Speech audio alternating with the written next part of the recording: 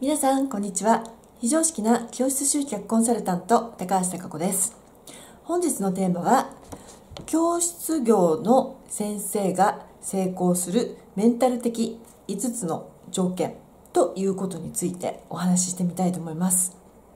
えいろいろご相談を乗ってる時にですねあの私はあのノウハウの方もですねもちろんお伝えするんですけれどもそのノウハウを扱う方の、ま人の心の部分ですね、ま特にメンタルのところがあのご本人の思考とか考え方がえー、せっかく例えばいいノウハウがあってもそれを生かしきれない考え方だとすると、まあ、宝の持ち腐れということになってしまうんですよね。ですからあの私の場合にはそのノウハウはもちろんお伝えするんですけどもその時にご本人が、同時に抱えているその、えー、物事の見方考え方の課題とかも合わせてアドバイスをしています。でその時に、まあ、感じていること、まあ、成功する人のメンタル的な条件ですね今日はあのそのメンタルの部分に特化した形であの解説をしてみたいかなというふうに思っております。はい。それでは本題に入りたいと思います。えー、とまずあの教室業の先生が成功するメンタル的5つの条件ですね。こちらの方を先にお伝えしてみたいと思います。えー、とまず1つ目が素直ですね。で2つ目が模倣。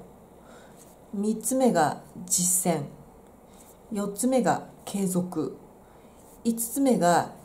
認知ですね。はい、でここの辺りをですね一個一個ちょっと解説をしていきたいなというふうに思っております。まずですね、まあ、素直ということなんですけれども、まあ、これは例えばまあノウハウとかいろんなノウハウあるんですけどとりあえず自分の考えとか自分の意見とかはさておきあのやったことがない大変とかそれはちょっと難しいとかいうのもさておきとりあえず言われた通りにやってみるそのうまくいっててる人のアドバイスですあのうまくいってる人っていうのがポイントですえー、うまくいってないとは言わないんですけど自宅教室業ではない方の意見っていうのはあの心情的にはありがとうって言ってもいいんですけれどもビジネス的にはそれを聞いてしまうと逆にうまくいかない場合があります。あの特に本人に悪気がなくてもドリームキラーとなっているタイプの人とかがいて、まあ、ご家族に結構多いんですけどねそのそんなのお前なんかできっこないよとかそんなの普通の人がねやれるわけがないとかっていう言葉を、まあ、特にご家族は心配っていうこともあってなんですけど否定的な意見で、まあ、その可能性とかを無意識に潰しに来る方がいらっしゃるんですよ。なのであのそれを真に受けてですねああやっぱりダメなんだって思うとダメになっちゃうのであの信じられる成功してうまくいってる要はその人がやったことがあるとかうまくいってる事例ですねそのアドバイスを素直に聞くっていうこの耳を持つっていうのがまず第一番に大切なことになってきます。はいで2つ目ですね。2つ目が模倣っていうことになるんですけれども、えー、とこれもやはり大きな落とし穴に、ね、なってしまうような部分が多いのが自己流ってオリジナルっていう言葉でねあの言われるケースとかもあるんですけれどもあの全くゼロからのオリジナルっていうのは基本ないっていうふうに、まあ、画家の方とかねそういう方のもおっしゃってるようにですねあのオリジナルっていうのは何か例えばうまくいっているものとか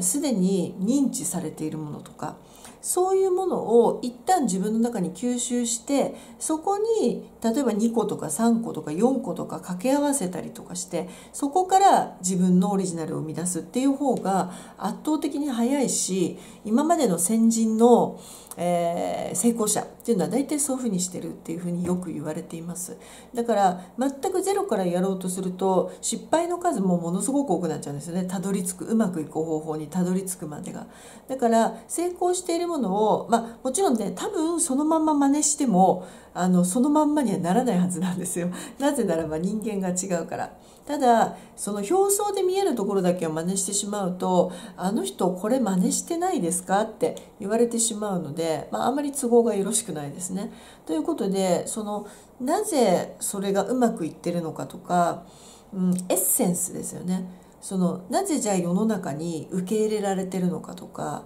まあ、そういった観点から見ていくことで模倣まあ尊敬を込めて真似をすることをオマージュって言うんですけれどもオマージュをする。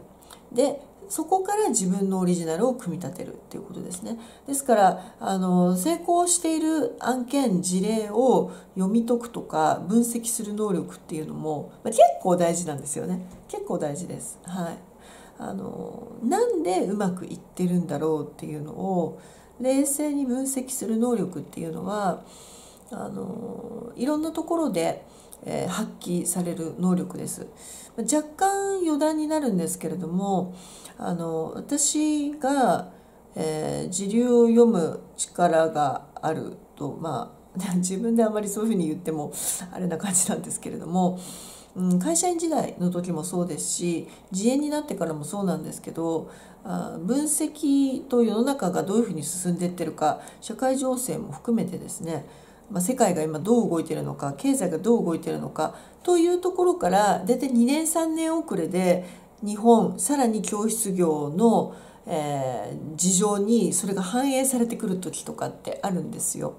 だから先に経済状況とかえ、世界情勢がどんな感じで特にアメリカとかなんですけどねその状況の23年遅れが日本に来たりとかするので先にそっちを見ておくと日本のトレンドが見えたりするんですね。で日本のトレンドが浸透した後に教室業にそのトレンドが来るので、まあ、34年先を今の状態で見ておくとその後どういう展開になるのかっていうのが大体見えてくるんですよね。でそれをだから模倣するというかえー、オリジナルに作り変えて売り出し始めるとちょうどピークになる時にうまくいくみたいなそんな感じをよくやってますだからうまくいくタイミングの山のタイミングもそうですし撤退するタイミングもあの先読みをしていてあの一見うまくいってそうに見えるような時にでもそれが先細りになるのが見えてる時には撤退縮小っていうのを私はよくやっています。なのであの撤退縮小とかあと変化変化ですねそういうのもやりながらやってるのでどのみち何かの模倣からスタートしてますのでその情報分析能力があるとそれを先読みすることができるので非常にお得な能力なんでまあそれもちょっと合わせて知っておいていただけるといいかなというふうに思ってます。3つ目ですねこれ実践です。で実践っていうのはあの思考よりも行動です。頭で考えていても結局そこに止まって例えばあのよくクライアントさんとお話しする時にねよく言われるんですけど1ヶ月どどういうふうな取り組みをされたんですか？っていう話をした時にいや頭の中でこれはどうだろう？あれはどうだろう？でもそれはうまくいかないかもしれないとか不安とかいろいろ考えててぐるぐるしてたら動けなかったんですとかっていう方いらっしゃるんですけれども。あのぐるぐるしていて動けなかったっていうことは、まあ、そこにとどまっていて何もしてないのと変わらないんですよね。あの考えてましたっていうのは確かに考えるのは悪くないんですけどあの結局現実世界にそれを反映させて人の反応を見ない限りは正しい答えが出ないんですよ。自分の頭の中で考えても考えても仕方がないことであの外に出してみて初めて評価とかどういうふうになってるのかどういう事情なのかっていうのが分かったりするんですね。ですからあの考えてるだけだと何も考えてない人と現実世界から見た絵は一緒なんですよそこから動いてないっていうだけなのででもっと言うとあの例えば旦那さんとのお約束において、えー、趣味ではなくちゃんと教室業で成り立たせるビジネスをするんだっていうことで許しを得ているようなタイプの人が仮にそういう思考だった時にはですねそこから全然動いてないわけですよ。だからそこから動いてないから結局あの実践していないからいい結果とかどういうことっていうのが全然見えていないんですね。ということは何もやってないのと一緒だしあとお金も動いてないので0円なわけですよ。そうするとまあ、あのちょっと厳しいことを言うと、まあ、プロの世界もそうですしあのお金を稼ぐことっていうのが一つの目標値だったとするとゼロっていうのは何もやってないことと一緒になっちゃうので,、はい、でそういう意味で考えてたんですっていうのはあの趣味レベルではね全然言っても大丈夫なんですけど稼いでいかなくてはいけないというもしもあの目標値ないしは家での縛りとかがあるのであれば1円でも稼いでいることが正しいことになってしまいます。ですのであの自分のね趣味特技を生かして憧れだった自宅教室業っていうレベルはもちろん全然構わないんですけれども事業ベースに載せたければ行動しないと結果が起きないので実践っていうことができない人はそれだけでも結構仕事として考えた場合にはマイナス。なので実践すること。これが必要になります。4つ目、えー、継続ですね。これもなかなかにマインド的に厳しいんですよで何が厳しいかっていうと継続って難しいんですあの私ももちろんあのそれは実践しててよく分かってるし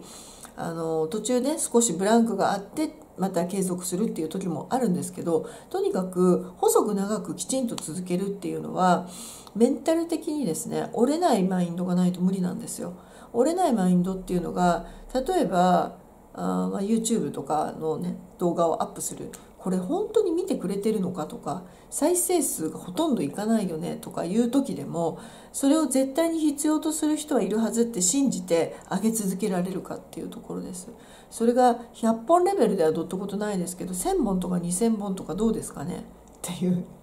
その感じなんですよね。だから自分がこれはいけると信じた道をきちんとある程度成果が出るまではあの諦めないで進む。人に何と言われようとも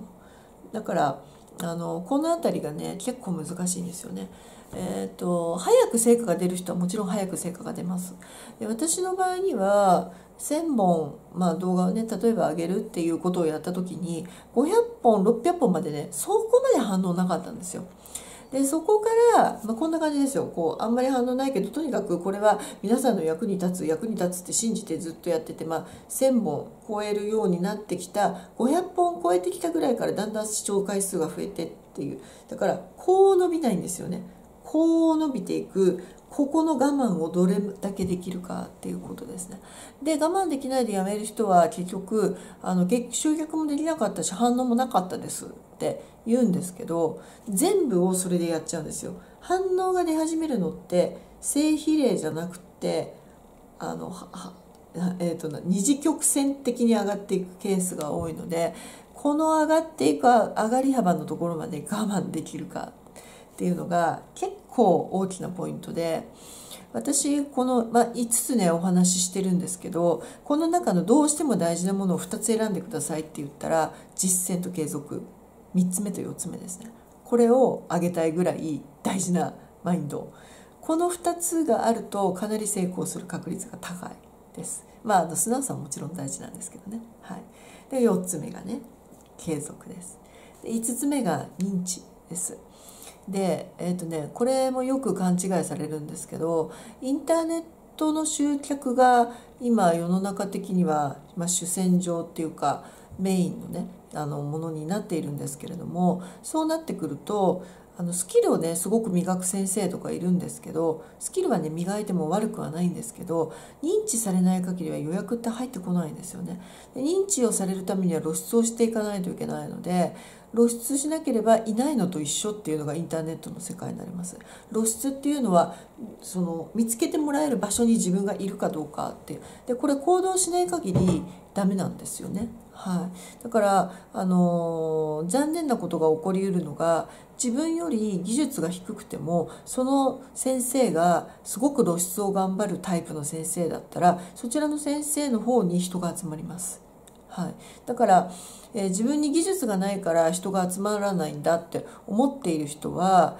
逆にその技術が自分よりないのになぜあの教室は人気だろうって考えてしまうかもしれないですけど単純に露出の量が違うケースが多かったりするんです。だから技術はもちろんね磨くのは大事なんですけどそれと同じぐらい大事かそれ以上に大事なのがあの行動してちゃんと見つけてもらえる場所に自分が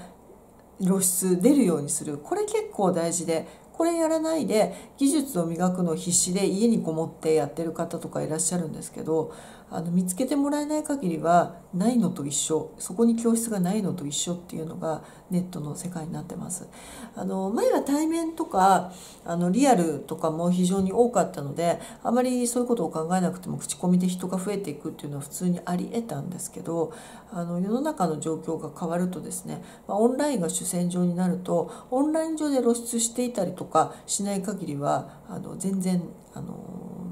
まあ見てもらえないイコールそこに教室が存在しないことになってしまうのでこの辺りをですねあの考えながらメンタル的にこの5つがあると非常にうまくいく可能性があるということで本日お伝えさせていただきました。はい。